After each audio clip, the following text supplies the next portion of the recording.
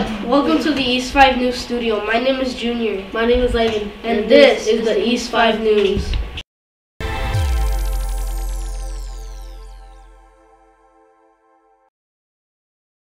Today is January 29th. Did you know today's National Puzzle Day? Today's science word of the day is force. Force is the put the pulling or the pushing of an object.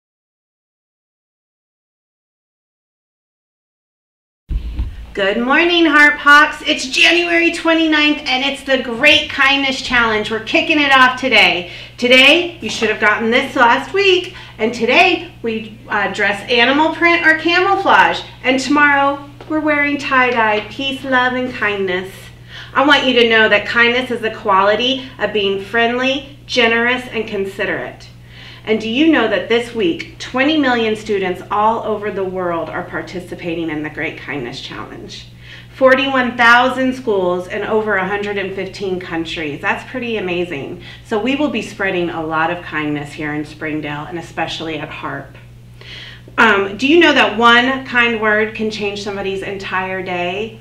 And I will be looking out for kids. Everyone will get a checklist to put to check off all the kind deeds that they're doing and we're going to celebrate at the assembly. So be looking for these and i want to see all kinds of kindness across HARP. Have a great week! For lunch today we have choice one sub sandwich or choice two corn dog hawks. Please stand for the pledge.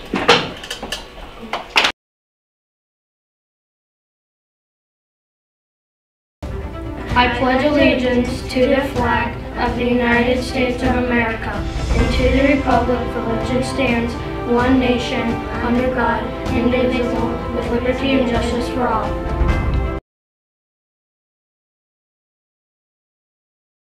And now for the joke of the day. Why did the kid throw butter out the window? Why?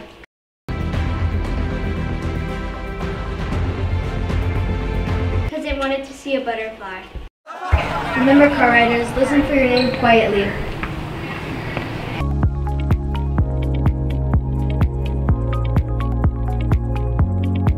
For walkers, walk on the sidewalk and walk single file on the crosswalk. Remember, bus riders, sit on your bottom and keep your backpack on your lap. We wanted to give everyone a reminder to show those manners in the cafeteria.